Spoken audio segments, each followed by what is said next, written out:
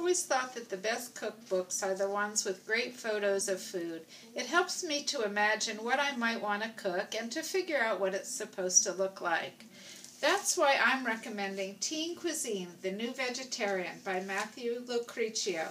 Look at these pictures. Here's a great sandwich, the new BLT, which uses beets instead of bacon.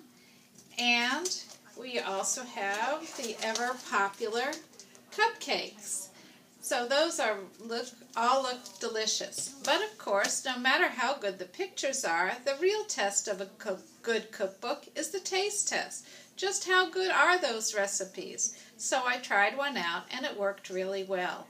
I made a recipe for ginger syrup. It was pretty easy. You just cut up a piece of ginger root, boil it together with sugar, molasses, and water, and here it is, a nice flavorful syrup. Teen Cuisine suggests using it to make authentic ginger ale. You just add um, soda water to it or seltzer.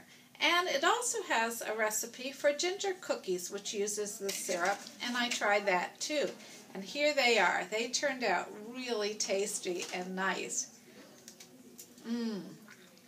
Not too sweet. Perfect for a snack. So if you'd like to try some new recipes or just want to enjoy the great ideas for some vegetarian meals and snacks, then check out Teen Cuisine New Vegetarian by Matthew Locricchio.